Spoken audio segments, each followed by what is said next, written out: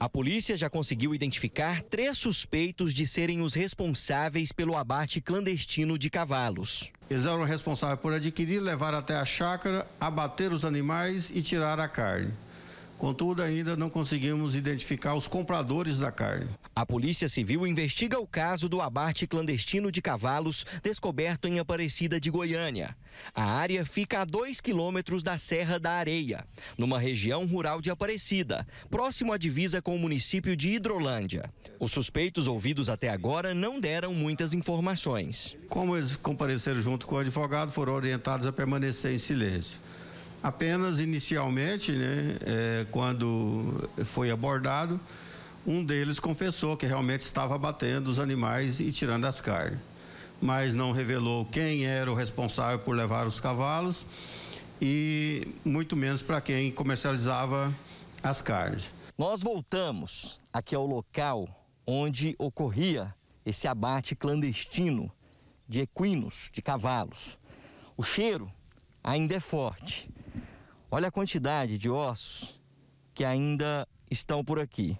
Aqui tem até um, um casco de uma pata de um cavalo.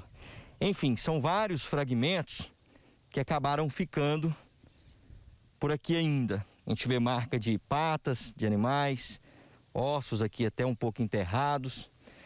E tem essa vala que desce aqui, que é por onde a água, quando há acúmulo de chuvas, a água escorre para chegar até o córrego Lages, que fica ali logo abaixo e é responsável por uma parte, em torno aí de 14, 15% do abastecimento de água de Aparecida de Goiânia.